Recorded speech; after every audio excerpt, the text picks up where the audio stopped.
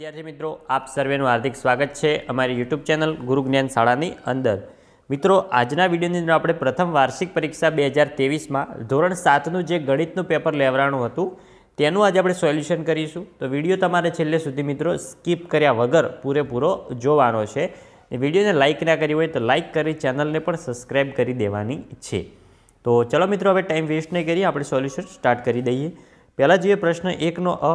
તો નીચેના દરેક પ્રશ્નોના જવાબ માટે આપેલા વિકલ્પમાંથી સાચો વિકલ્પ શોધીને લખો. એમાં પહેલો, ખાલી જગ્યા કરતાં નાની સંખ્યાઓ હંમેશા ઋણ સંખ્યા જ હોય, તો આવશે બી જીરો નેક્સ્ટ તમારે લેસ દેન અથવા ગ્રેટર દેન દર્શાવવાનું હતું, તો ઓપ્શન સી આવશે લેસ દેન ત્રીજો જોઈએ, સરેરાશ એ માહિતીના સમૂહની ખાલી જગ્યા સ્થિતિ છે, તો આવશે ઓપ્શન સી, મધ્યવર્તી. ચોથો, સમીકરણમાં હંમેશા ખાલી જગ્યાનું ચિહ્ન હોય છે, તો આવશે ડી, બરાબરનું. પાંચમો, એક બિંદુમાંથી ખાલી જગ્યા રેખા પસાર થાય છે તો આવશે સી, અનેક રેખાઓ પસાર થાય છે. છઠ્ઠો, ત્રિકોણનો બહિષ્કોણ તેના ખાલી જગ્યાના સરવાળા જેટલો હોય છે તો આવશે બી, અંતસમ્મુખ કોણ? નેક્સ્ટ હવે, પ્રત્યેક વિધાન સાચું બને તે રીતે આપણે ખાલી જગ્યાઓ પૂરવાની છે. એમાં જોઈએ પહેલો, સંખ્યા રેખા પર ધન પૂર્ણાંક સંખ્યાઓ હંમેશા શૂન્યની ખાલી જગ્યા બાજુ હોય છે તો આવશે જમણી બાજુએ. બીજો બે પૂર્ણાંક સંખ્યાઓનો ગુણાકાર ખાલી જગ્યા હોય છે, તો આવશે પૂર્ણાંક સંખ્યા. ત્રીજો, પાંચ ભાગ્યા સાતની વ્યસ્ત સંખ્યા ખાલી જગ્યા છે, તો આવશે એનો સાત પંચમાંશ. ચોથો, ત્રણ એક્સ પ્લસ પાંચ બરાબર વીસ, તો સમીકરણ ઉકેલશો તો આપણને એક્સ બરાબર મળશે પાંચ. પાંચમો, સમીકરણનું સમાધાન કરતી ચલની કિંમતને સમીકરણનો ખાલી જગ્યા કહે છે, તો આવશે ઉકેલ. છઠ્ઠો, કિરણ એ ખાલી જગ્યાનો ભાગ છે, તો આવશે રેખાનો.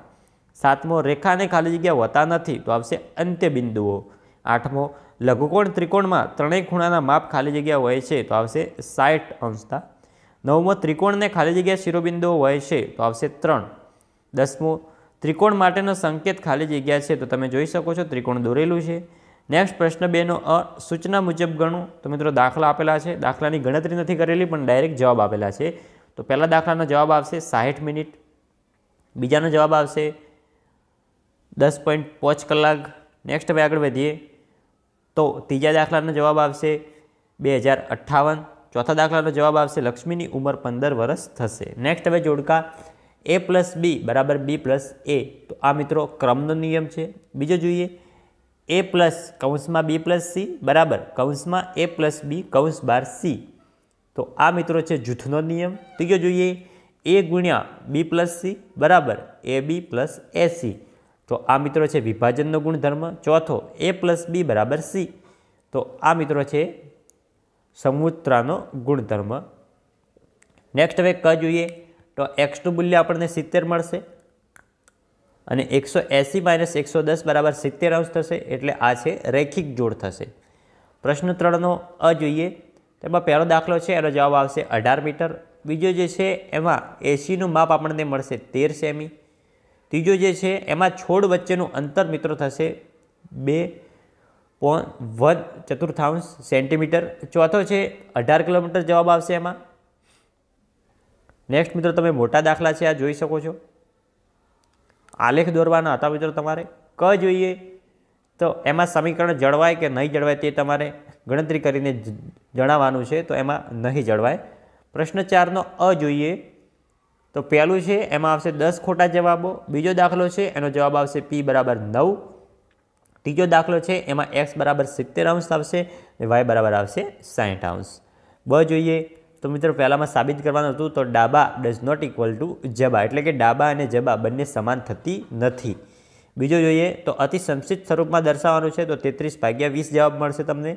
ત્રીજો ત્રીજો છે, તમારે ભાગાકાર કરવાનો હતો, તો એનો જવાબ આવશે ઝીરો પોઈન્ટ બારસો ને નેવ્યાસી નેક્સ્ટ હવે ચોથો. તો એકસો ને પાંચ ડિગ્રીના ખૂણાના પૂરક કોણ શોધો? તો આવશે પંચોતેર અંશ.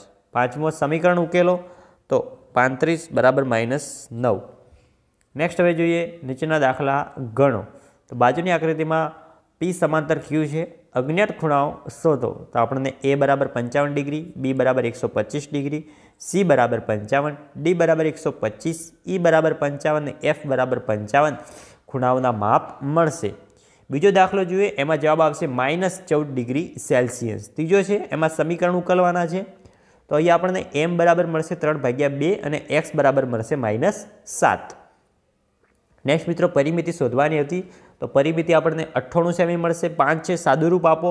તો આ દાખલાનો આપણે સાદુરૂપ આપીશું, તો આપણે લાસ્ટમાં જવાબ મળશે આઠ. તો મિત્રો, આ હતું આપણું ધોરણ સાતનું ગણિતનું પેપર સોલ્યુશન. તો મિત્રો, વીડિયો સારો લાગ્યો હોય તો વિડીયોને લાઇક કરજો અને તમારા બીજા વિદ્યાર્થીઓ મિત્રો સુધી પણ આ વીડિયો અચૂકથી શેર કરજો, જેથી કરીને તેમને પણ ઉપયોગી નીવડી શકે. તો મિત્રો, વીડિયો સારો લાગ્યો હોય તો વિડીયોને લાઇક કરી, ચેનલ ઉપર નવા હોય તો ચેનલને પણ સબસ્ક્રાઈબ કરી દેજો. મળીશું મિત્રો નેક્સ્ટ વીડિયો અંદર. ત્યાં સુધી આવજો. જય હિન્દ, જય ભારત.